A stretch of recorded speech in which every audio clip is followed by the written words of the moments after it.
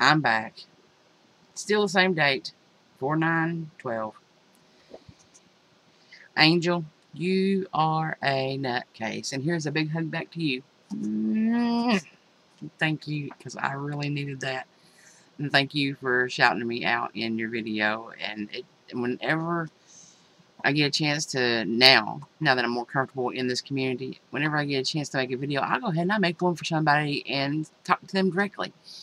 So I'm talking to you directly to thank you for all your support and helping me realize, like several other ladies on here have, that stop beating myself up. Like you said, I've not had the surgery yet, and it is difficult even though I, I do have phentermine as a appetite suppressant, it's still hard.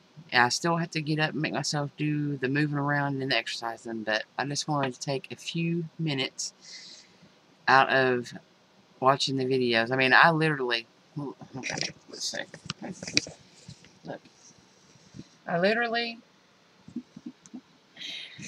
I'm literally watching your watching a video and I paused it just so that I can make this video, let you know how much I care about you and how much it means to me that you're thinking about me. So, anyway, oops, there we go.